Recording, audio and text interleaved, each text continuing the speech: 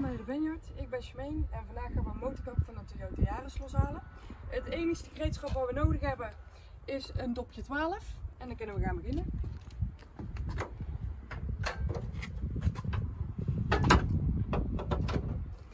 Hij zit op vier punten vast. Hier, hier en hier. Wat we als eerst los gaan halen, dit is van de uh. Die kunnen we gewoon lostrekken en die je straks weer terugzetten.